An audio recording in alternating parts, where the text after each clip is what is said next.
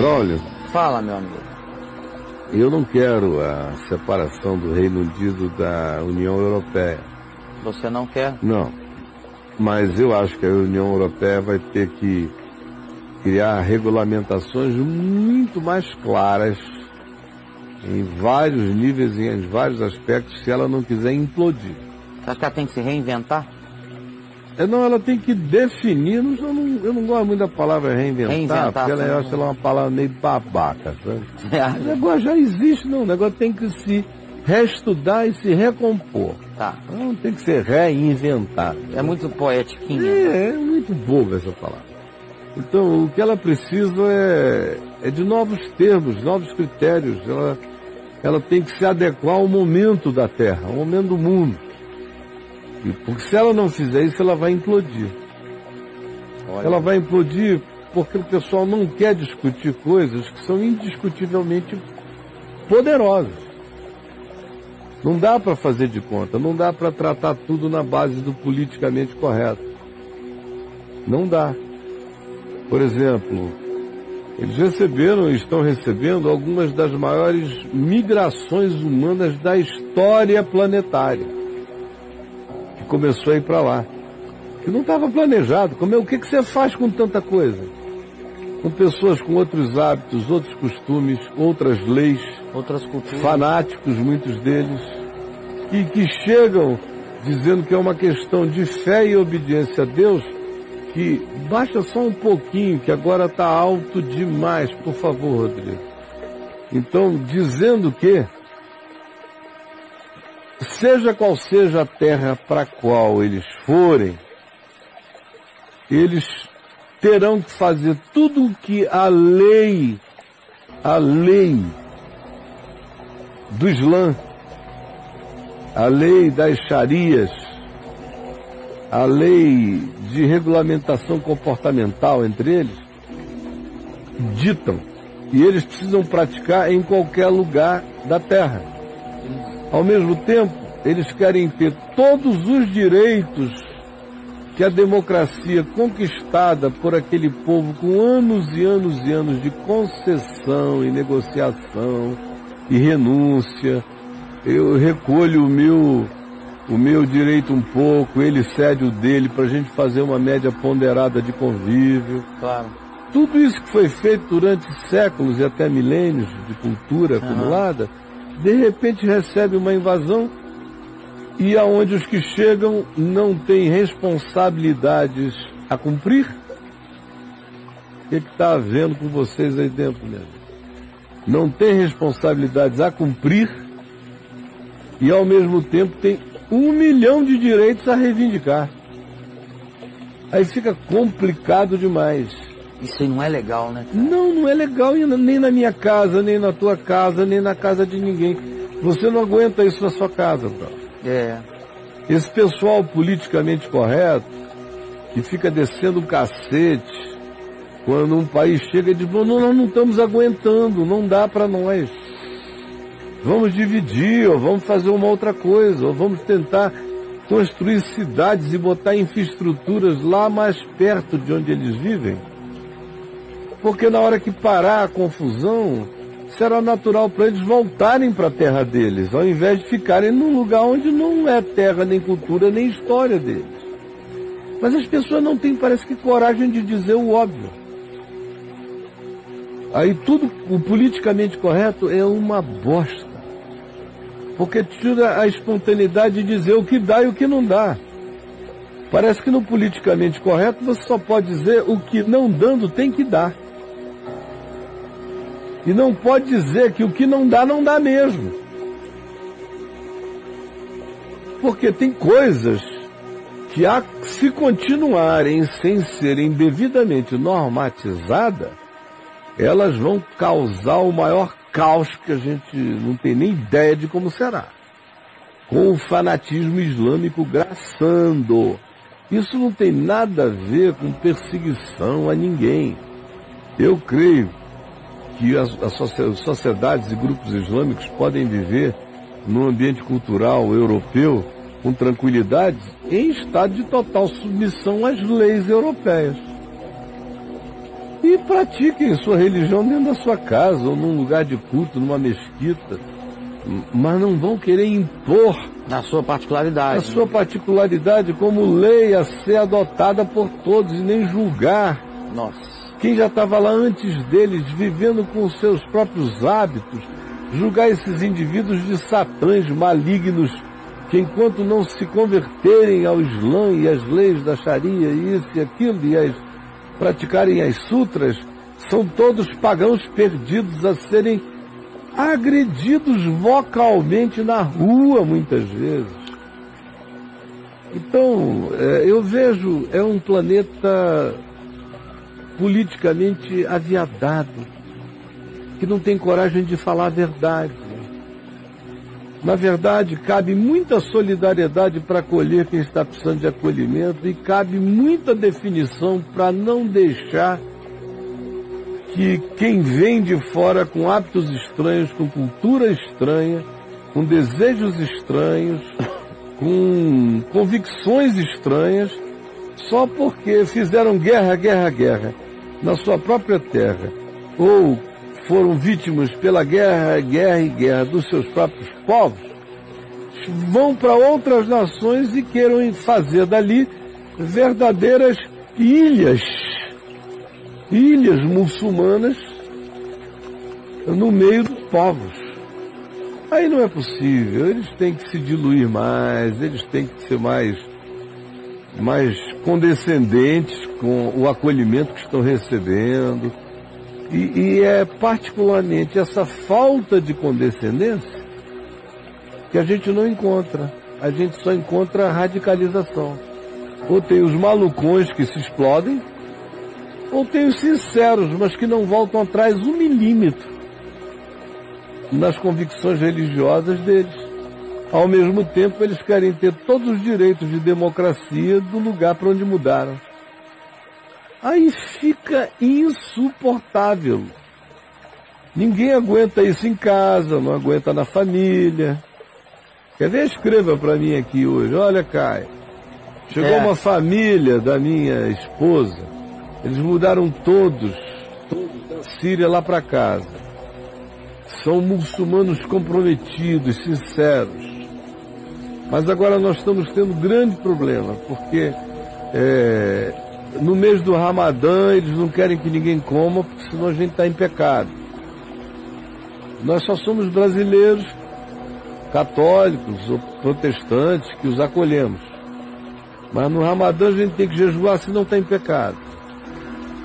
Ah, Estão começando a dizer que as nossas filhas são umas meninas muito, muito pervertidas, porque andam de shortinho, usam umas camisetinhas, uns bustiers, uma praia de biquíni.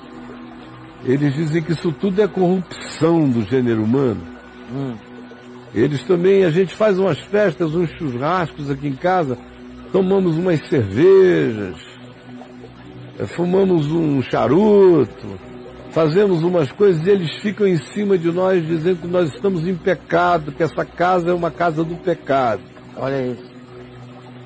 E reivindicam para nós que a gente comece a parar de trabalhar na sexta-feira, porque sexta-feira é o dia santo dos judeus, dos, dos muçulmanos. Ah. Querem, querem, querem que a gente troque nosso dia de domingo para sexta-feira. E agora, como se não bastasse, eles deram um monte de véus para minha mulher, porque disseram que ela não pode mais sair na rua sem botar véu na cara. E são as nossas visitas. É, é visita aqui em São Paulo. ou visitando a tua casa no Rio, ou mesmo. Tivessem chegado todos na sua casa aqui no, No, em no Sobradinho. Colorado. Aham. Colorado. Você ia estar se sentindo o máximo, né? Nó. Sem chance, né? E aí alguém ali escrever para nós aqui, Caio, aconteceu isso aqui em casa, na mesma hora eles iriam saber o que dá e o que não dá. Agora, quando não é na casa da gente, é lá no país dos outros, é não sei o quê, quem chega e diz, não, não dá para ser tanto. Aí o repórter aqui que não aguenta um primo na casa dele 15 dias, um repórter da Globo News, Tá. nem um primo, nem uma prima, nem ninguém, não aguenta mais dizer um absurdo. Ele não sabe o que é isso, ele não tem a menor ideia do significado disso nem de longe. Mas opina daqui, ou de qualquer outro lugar. Pimenta, nos olhos dos outros, sempre foi e será refresco. Agora, eu não vou nem tanto ao mar nem tanto à terra. Eu acho que existem acordos a serem feitos e existem pactos. Quem quiser viver sobre o pacto social daquele acolhimento, fica. Que adapte-se. Adapte-se, mas adapte-se bonitinho. E quem disser que não dá, que é testemunha de Jeová, que não serve o exército, não doa sangue, não faz coisa nenhuma, vá para o seu gueto. Que volte. Não volte, não perturbe a vida dos outros. Agora não quer nenhuma coisa, nem quer outra e quer todos os direitos a respeito. É uma covardia impensável. Mas eu continuo dizendo que eu acho que o Reino Unido não deveria ter saído, eles deveriam ter corajosamente aprofundado o significado das normas desse convívio, estabelecer limites para o que podem e não podem, quantos podem ser absorvidos, quantos não dão, e começar a construir, que seria infinitamente mais barato, em fronteiras que estão praticamente abandonadas e ainda onde não há guerra e provavelmente já nem haverá, estrutura, cidades, seria bem mais barato com toda a infraestrutura, escola, médico, isso e aquilo, porque ou o cara gosta de ficar lá porque já é pai do chão dele, ou volta para sua cidade natal, a alguns quilômetros dali, quando a paz voltar, e se Deus quiser retornará. Agora o que vai acontecer é que quando a paz retornar nesses lugares, e se Deus quiser ela retornará, especialmente na Síria, de onde vem quase todo mundo, eu te pergunto, você acha que todo esse pessoal que entrou na Europa vai voltar para a Síria? Não vai voltar não. Nunca mais, né, Bruno? Não vai não, porque lá é filé, né? Né? Só vão de férias. Eu vou cara. voltar pra Síria. E aí então, já que não vão, e a Europa existe há milênios, e existe como Europa com um determinado perfil, e todo mundo sabe qual é, ou eles se adaptam ou eles se adaptam. Na minha casa é assim. Eu não sei porque que eu tenho que ter um critério para minha casa, para minha empresa, para o meu negócio, para os meus relacionamentos que são meus, e não posso pensar com a mesma categoria humana básica e simples a respeito de um contingente maior.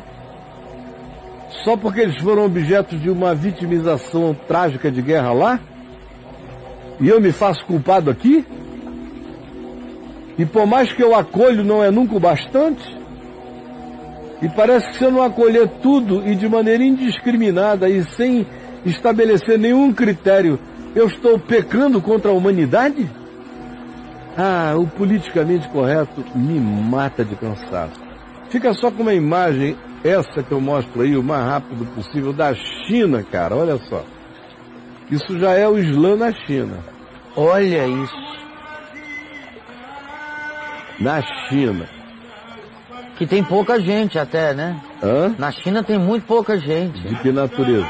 Ué, chinês, né? É Chinês? gente pra caramba, os caras ainda estão indo pra lá. É justamente isso que eu estou dizendo.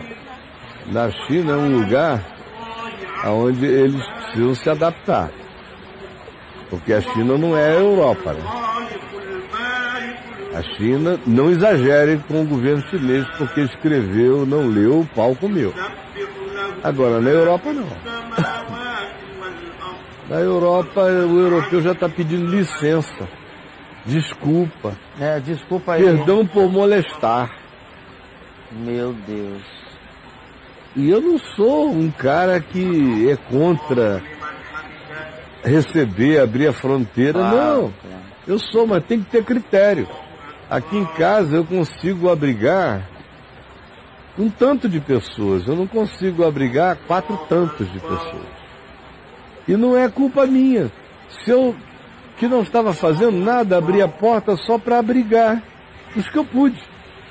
Aí eu me torno culpado por não conseguir abrigar os que eu não consigo?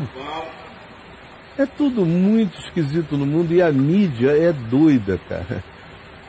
A, A mídia, mídia é politicamente correta, né? politicamente correta, ela não tem a coragem. total.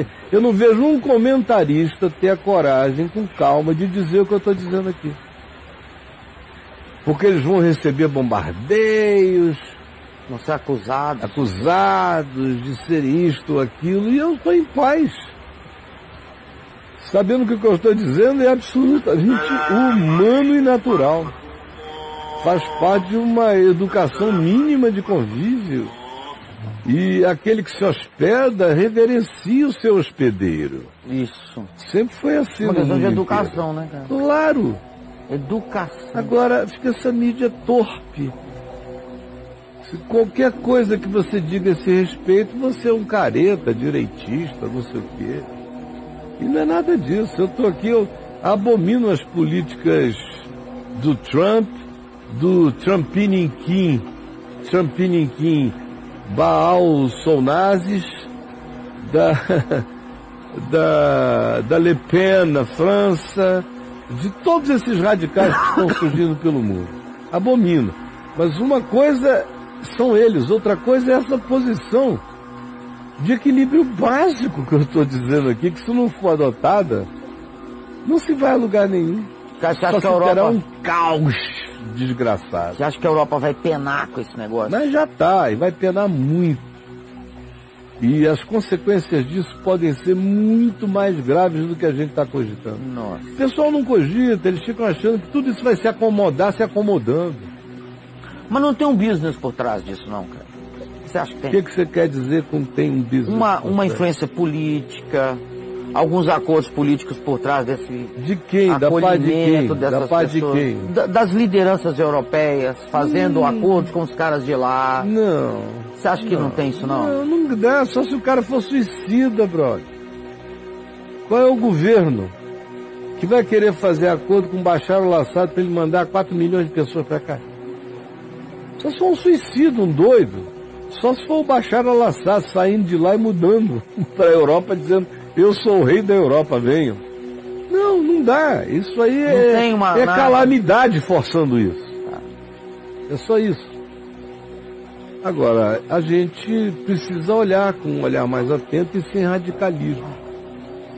Se você tem algum pensamento parecido com o meu, pelo amor de Deus, fique aqui comigo. Não saia daqui para você não ir para a direita extrema, perversa, diabólica, satânica, dos Trumps, dos Trumpiniquins e dos outros muitos que estão surgindo por aí, que são políticas discriminatórias e perversas. De um outro lado, não caia nessa história utópica poliana moça de achar que isso se acomoda se acomodando, Não.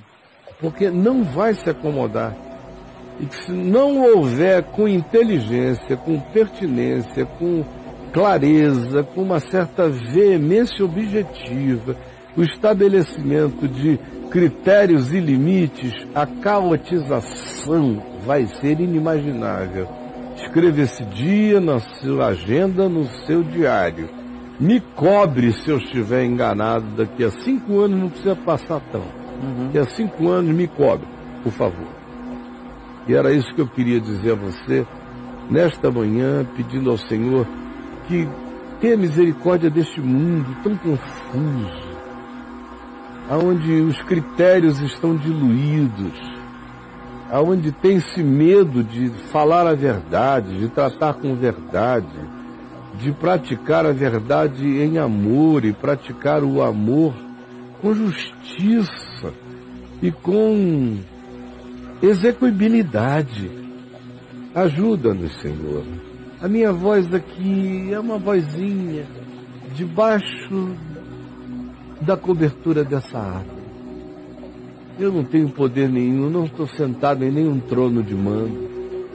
Minha voz não é ouvida por milhões, mesmo aqui neste país.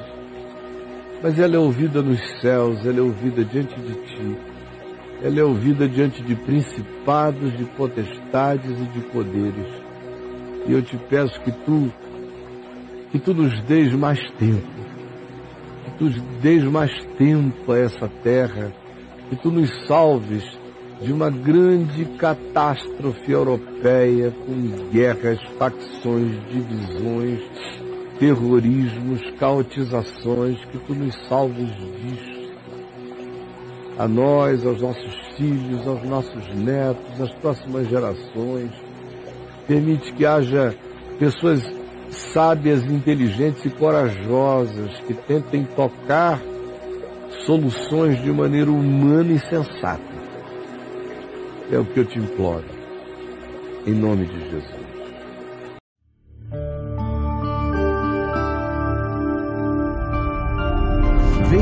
VTV. O canal é você.